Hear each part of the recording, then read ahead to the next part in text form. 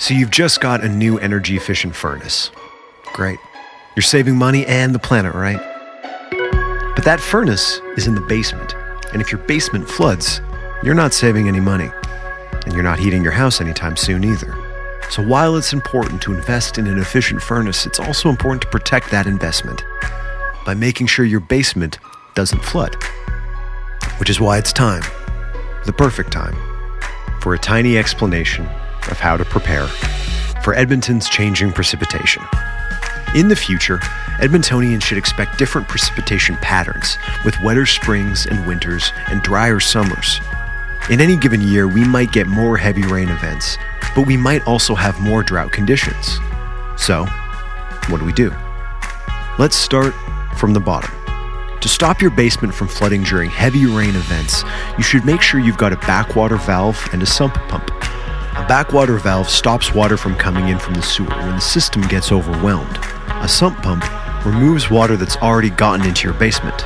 Sump pump is also fun to say. Sump pump. These are two small expenses that could save you a lot down the road.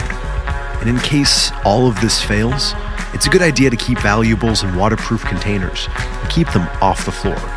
And to make sure that your insurance policy is up to date. Moving on, let's take a look at things you can do outside of your home.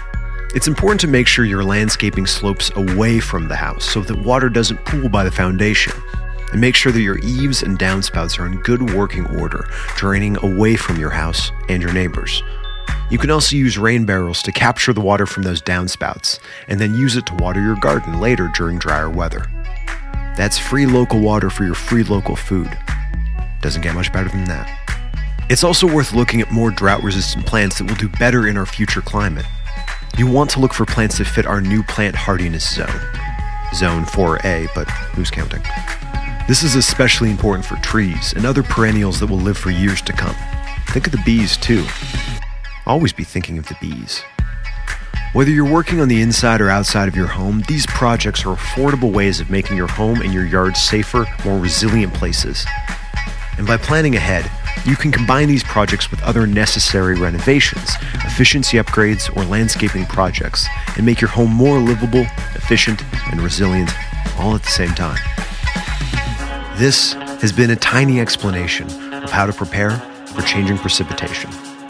To learn more about preparing your home for climate change, visit climateresilienthome.ca. And to learn more about taking action on climate change, visit changeforclimate.ca. Thank you.